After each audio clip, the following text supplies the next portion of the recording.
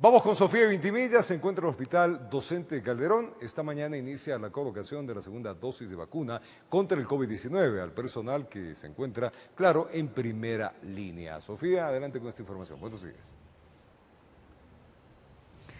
Roberto, amigos, que tengan un buen día. Es lastimoso saber que aún no tenemos información relevante y seria acerca de cuántas personas van a ser vacunadas, en especial quienes van a recibir la segunda dosis y quienes van a recibir la primera dosis. Estaba programado que a las 8 de la mañana la prensa pueda ingresar hasta estas salas de vacunación para poder conocer a las personas que iban a ser inoculadas. Sin embargo, hasta el momento no tenemos ninguna información certera. Lo que sí conocemos que nos ha dicho el personal de comunicaciones que aún no llegan las vacunas de este punto están esperando que lleguen, van a ingresar por la puerta que veían a su lado derecho y van a poder eh, ingresar al segundo piso, que es donde están establecidas dos salas para poder vacunar al personal. Ustedes ven en imágenes ahora la expectativa de la prensa. Estamos en los exteriores de este sitio esperando que nos permitan el ingreso y también es importante señalar que nos han dicho que únicamente se podrá hablar con tres de los primeros personas que van a ser vacunadas el día de hoy y el personal del hospital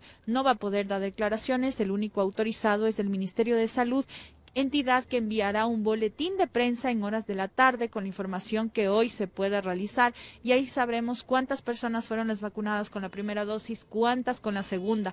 Pero es destacable que este hospital docente de Calderón es uno de los primeros que recibirá el cargamento de este segundo lote que llegó el día de ayer, más o menos al mediodía, hacia Quito. Es importante señalar que según información proporcionada por el Ministerio de Salud el día de ayer, la cantidad es de 16.380 vacunas, las cuales se distribuirán en cerca de 99 casas de salud entre públicas y privadas.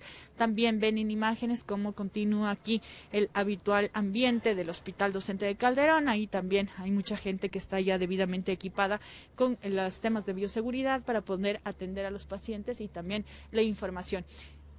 Estamos a la expectativa entonces de la información que nos pueda dar la comunicadora. Como les digo, no sabemos ni qué cantidad es, ni qué personal será. Estamos a la expectativa que nos permitan entrar y la información será entregada por el Ministerio de Salud a través de un boletín de prensa en horas de la tarde.